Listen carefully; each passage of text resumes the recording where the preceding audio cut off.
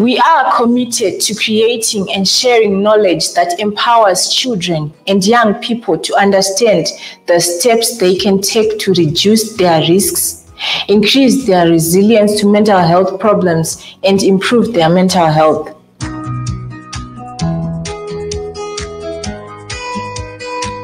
Our vision is to create a world with a sound mental health for all. What are adolescents?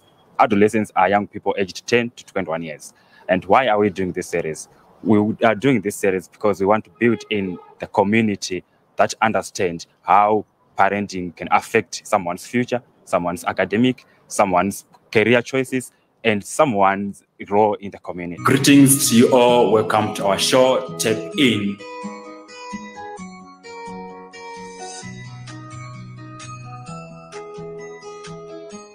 a certain somebody and hoping that that someone understands the information. Because with basic communication, I could tell you something and then you could not listen. Or you could just go like, okay, it's fine. But then with effective communication, I need you to understand what it is that I'm saying so that you have a clear picture of whatever it is I'm trying to relate to you.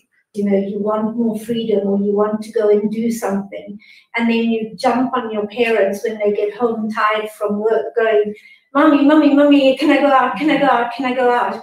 And, you know, what is the likely response you're going to get? It's like, yeah, to get out. uh, if you don't consider uh, the environment and you just ad- address your child in front of you know his or her friends, then he or she won't be able to what to get what you're trying to say, even if you were right in, in, in you know in in, in in in saying something that you're saying. But you need to consider that there's uh, a right space, right environment for you to convey your message.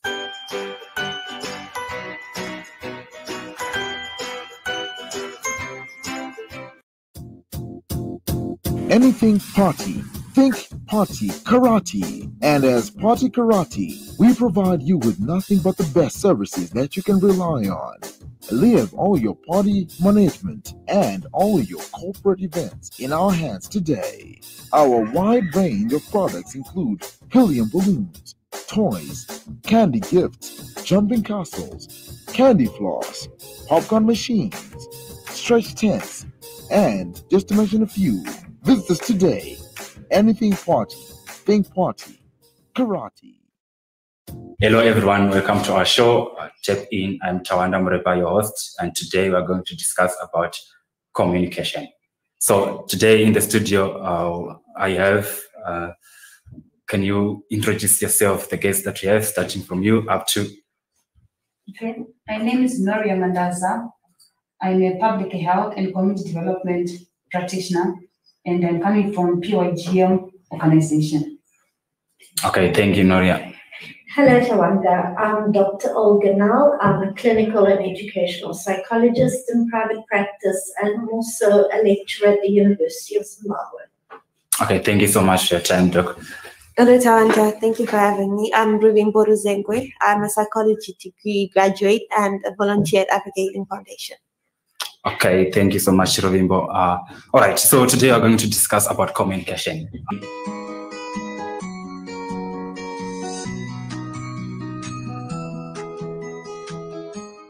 Doc, do you uh, have anything to add on from what she has just Um, said? but I'm really delighted that Noria mentioned that children learn by modeling. So you Mhm. have to set that example. Um, more than words, and that's your hearing and listening. And, you know, they, they learn by copying Mhm. what they see. That's how we learn as human beings.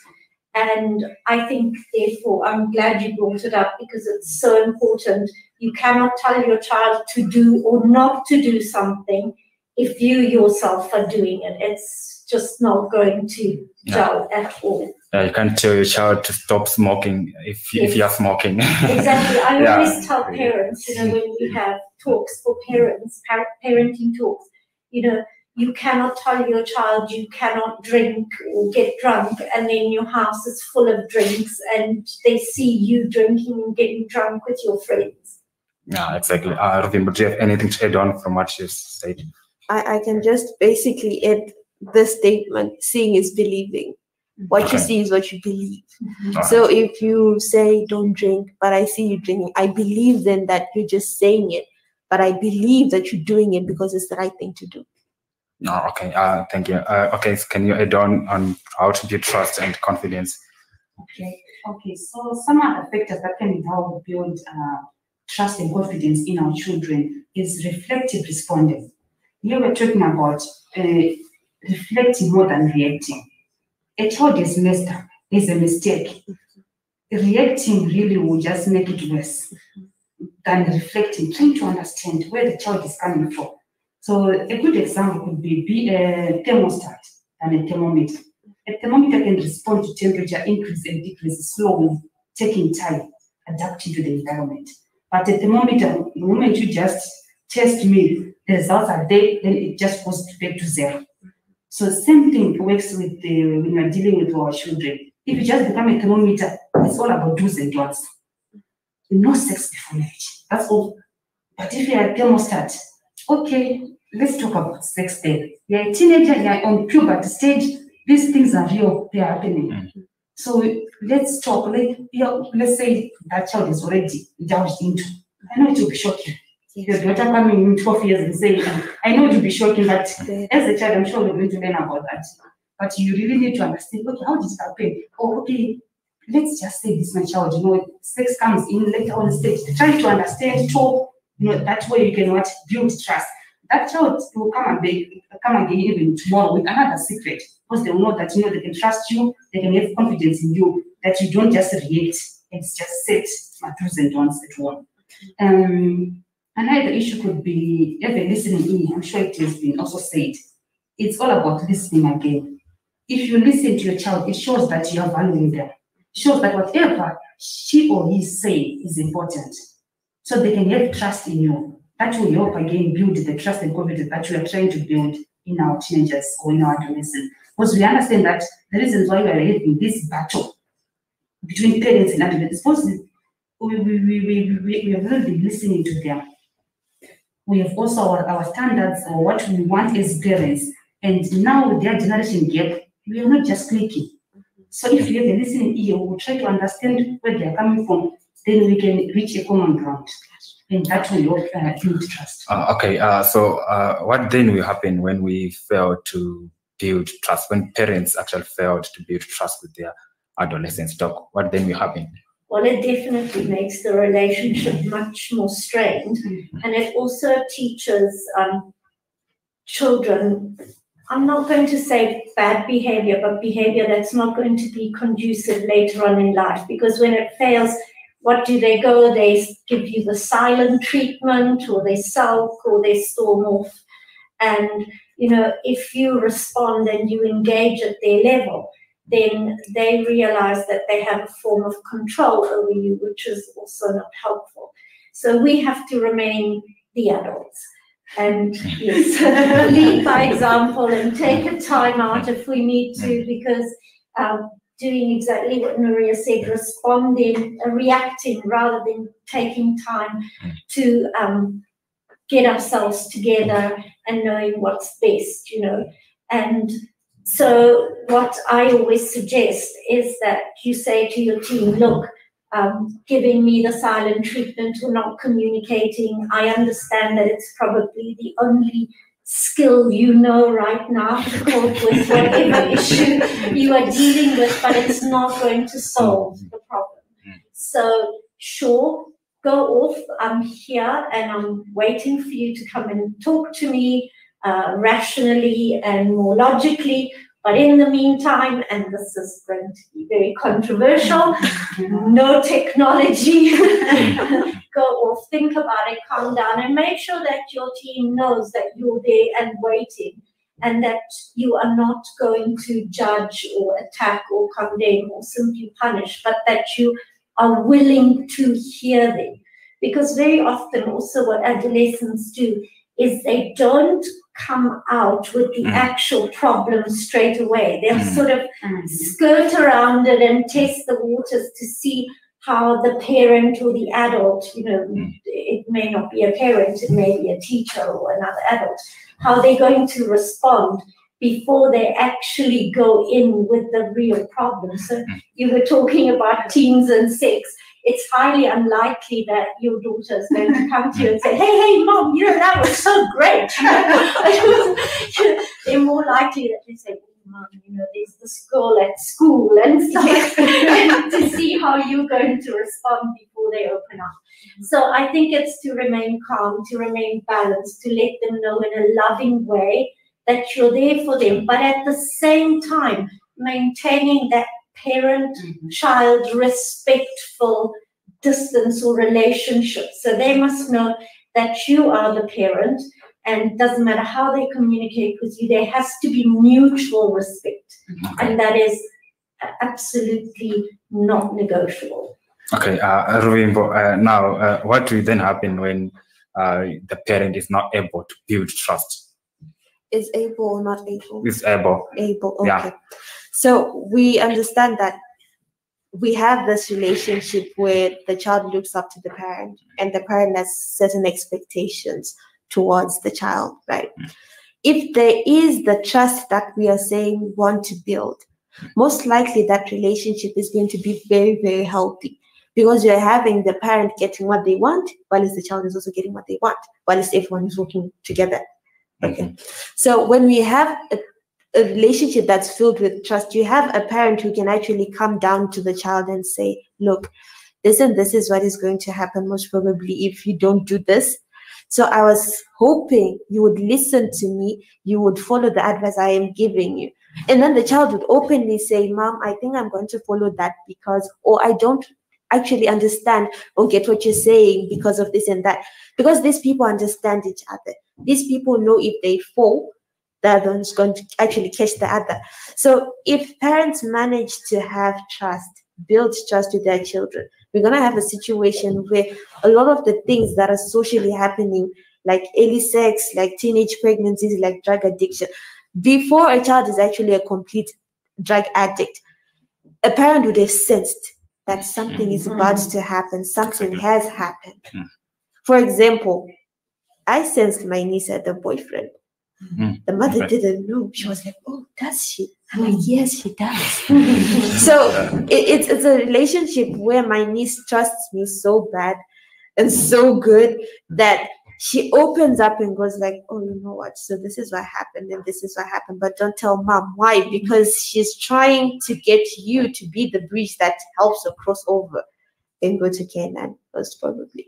So you find if a parent has trust, you are able to listen. You're able to get information without even fighting so hard for it, without even having tantrums blowing up. And that's healthy because if your child has a healthy relationship with you at home, they automatically have healthy relationships outside. Okay, yeah, yeah definitely. All right, defi- uh, do you have anything to add on?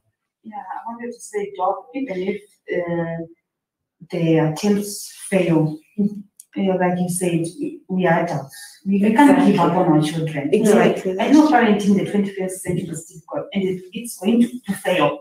Why? Because of technology, communication, and even the cultural barriers. It's what we used to believe that, you know, you don't give your child the time to, to talk to you. They just need to know that and all that. But we we just have to try. Because obviously, uh, as we, you know, in this 21st century, attempts are going to fail. But what I'm trying to say is we just have to keep going. We need to just, you know, roll up our sleeves and understand that parenting nowadays is going to be difficult than before because of uh, technology and globalization and other uh, factors that have been, but we just need to try. Okay, I uh, think if you maintain a relationship based, like you were saying, on love and mutual respect, um, I think you can achieve a lot. And ideally, you want to have a relationship with your child where your child is going to come to you first if they have a problem or an issue, rather than turning to, like you were saying, social media or friends or whatever. You want to be that parent who is the security for the child, who is that rock where they know that they're always safe because adolescence is a time for exploring and building towards independence. But in order to do that, you need to know that you have a safe place to come back to. And so, as a parent, if you can give that huge gift of love to your child, where the child has secure boundaries, loving boundaries, and they can come back to you and certainly to you first to deal with issues, then I think that's going to make a huge difference to both of you. To the child because they know that they can turn to you and be supported, and to you because you're going to be a little more comfortable that the child will turn to you before anyone else and make more responsible decisions, hopefully. Okay. So, therefore, I feel so we need to have more and more of this kind of seminars and workshop, Yes. education, information dissemination. Mhm. Because like I'm always uh, uh, referring to, we are not even living in those days. So even if you want to maintain your, your cultural values that you don't talk to your child on matters like sex and drugs, it will not help. That mm-hmm. uh, attempt will fail. Therefore, if we can keep on educating the mm-hmm. public, you know, have seminars, workshop on parent adolescent, I'm sure well, whatever you have in your mind, you know, you will set it aside and try to move on. Mm-hmm. And make time for your teens as well. I know we all leading very busy, very stressful lives, but I think if you can make time for to create a safe space uh, for that discussion, even if it's just having a cup of tea after work together Exactly. with them Exactly. or Mm. um, helping with some homework or showing an interest in what they do. You know? I think that's really important. Okay, uh, okay. Uh, let's say now we've come to the worst. Uh, let's say we uh, how then to respond when attempt to communication fail. Talk is directed to you. How then do we respond when comment? Well, as I said before, you know, um, we do need to remain the parents, so we do need to maintain those loving boundaries and trying to explain to the child that you are here for them. At the same time, giving them some space, some time to process what they need to process. Um, but I think sometimes family can also be a help. Or if, if you really cannot, you know, calling, like you were saying, that your niece speaks to you rather than her or before her own mother, you know, finding someone that can be uh, a sort of channel Channel, that's more conducive and taking time yourself often to come sort of calm down, get your emotions in check, not go down to the, the sort of emotional level of your child and returning with a, a mature attitude, calm attitude, mm-hmm. but letting them know lovingly you are there.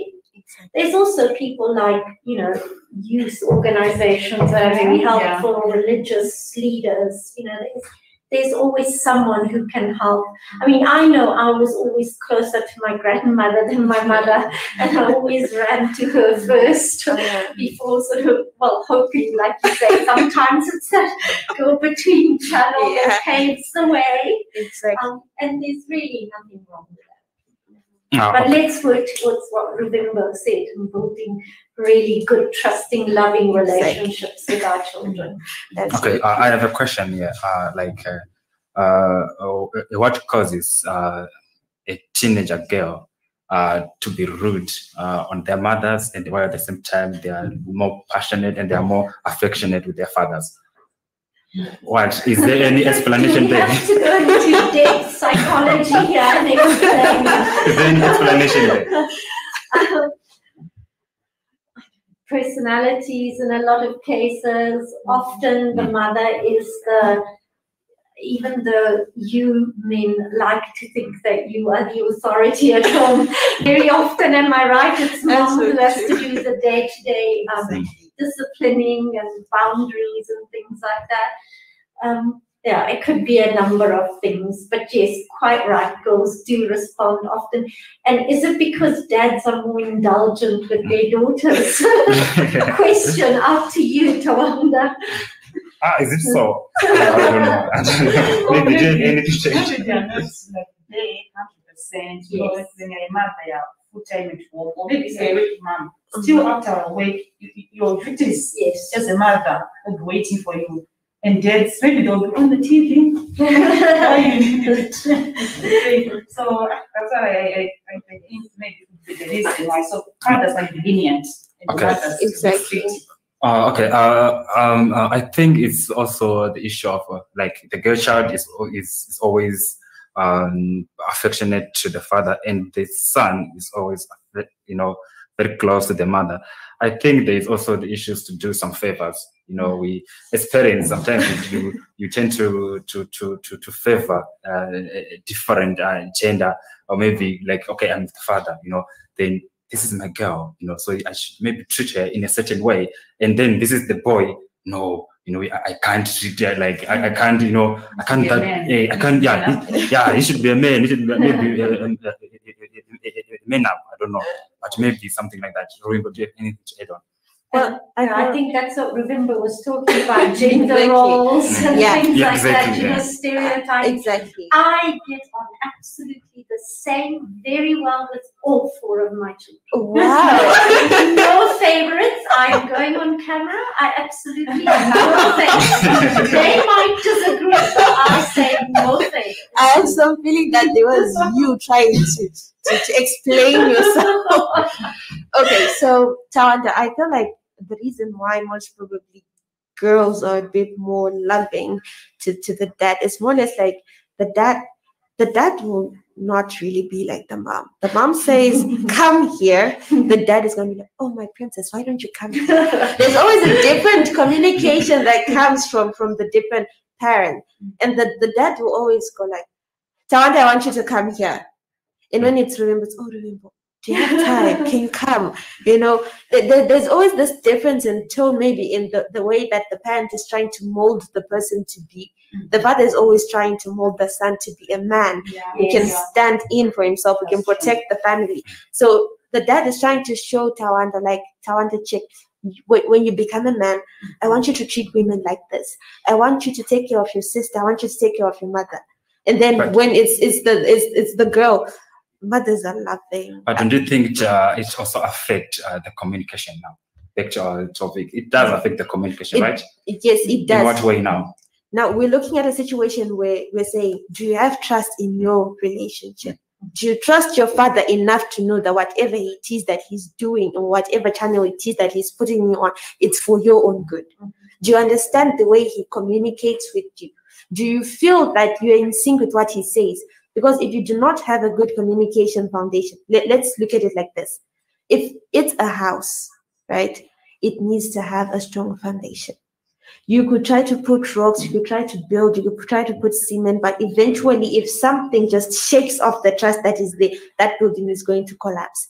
Okay. So, whatever relationship, whatever way we may communicate, because yes, there are relationships where parents are filled with trust and love and everything, right? Mm-hmm. But there are always other factors like anger.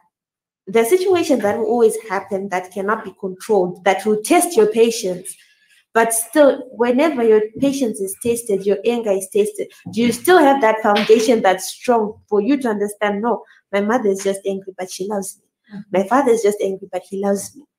Okay. If you have that foundation, then everything is set. Okay, Doctor, do you have anything to say? Oh, I was just going to say that also there's personality issues and likes and dislikes and what you have in common. Mm-hmm. So it's likely that if your teen is facing some issues, depending on what the issue is, they may also feel more comfortable going to either the mother or the father, depending. So, Okay. Yeah, I also wanted to say if we're going to treat our, our children differently because of gender, it will definitely mm-hmm. affect the communication. Mm-hmm. Mm-hmm. Because if I'm close to my dad every time and I feel comfortable, but there are other feminine issues which I, I, I, I am not able to communicate with, but in as much as we are so, you know, so close.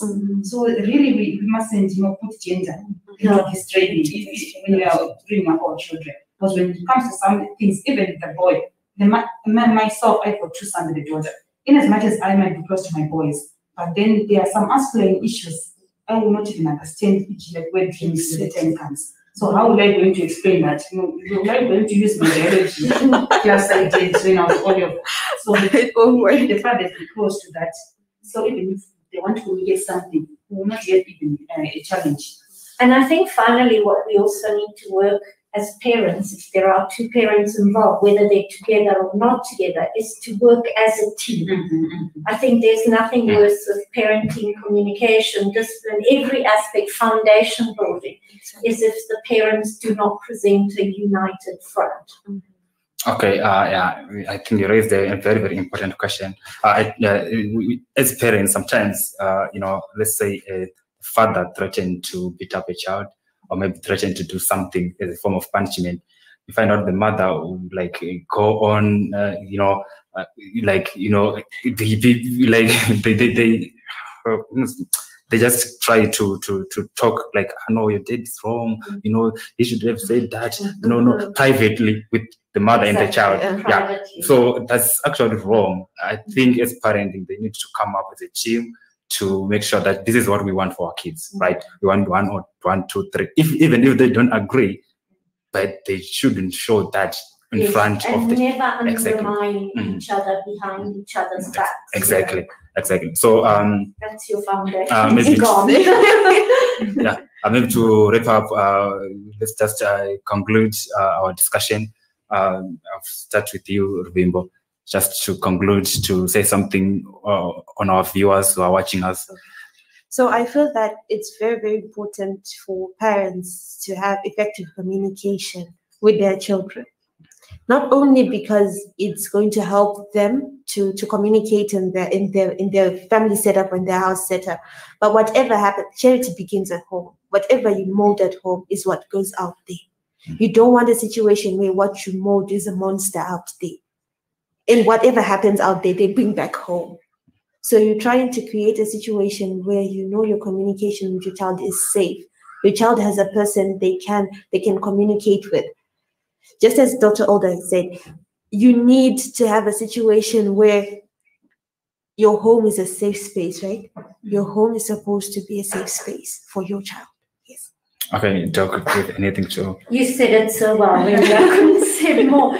But just love, mutual respect, a safe base where your teenagers can do what teenagers are supposed to do, and that is to explore the world Mhm. and um, build their independence and start moving on to their next life stage. Mm. But yes, love, kindness, respect. okay, do you have anything to say? Nora? Yeah. All relationship, they need to have a, a foundation which is trust. So everything should be built on trust. If a child has trust in you, then they are confident with their secrets. You want to be the last person to know about what's happening in a child or discover this later on in life, whereas they could have been avoided in the infant stage. And trust is built in those formative years, like zero to eight years. So zero to eight years, let's learn to do uh, some of the tips that I've mentioned in other that you're going to be researching as parents. So urge parents to build trust with their children, listen to them, be consistent, practice what you preach. If they, are, they can trust you, then they can trust you with anything. And they will be happy later on in life. Okay, uh, what a show. Uh, thank you so much, Noria, for having for having us, and also thank you so much, Doc. Thank you for having Thank you, Ruvimbo. Thank you, Tawanda. Okay, uh, so we've come to the end of our show, uh, communication. Uh, thank you so much for having us, also our viewers, and don't forget to tap in next week.